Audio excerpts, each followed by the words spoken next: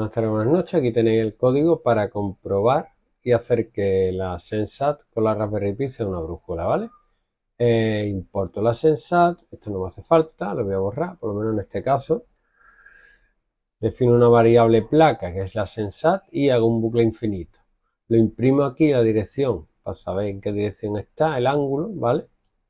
Y en la variable dirección pongo este número. ¿Vale? Si el número está entre menos 45 grados y mayor que 315, que está dirigido hacia el norte más o menos. Yo divido el círculo en cuatro partes. Hacia arriba el norte, si es menor que 135 va a ser hacia el este, está hacia la derecha. Si es menor que 225 está hacia el sur y en el otro caso está hacia el oeste. Y podéis ver como yo, yo ahora mismo tengo la, la Sensat dirigida hacia el este. Aunque veáis ese salto, yo estoy viendo una en la pantalla, ¿vale? Esto sería todo, os pego el código en, en el vídeo, ¿ok?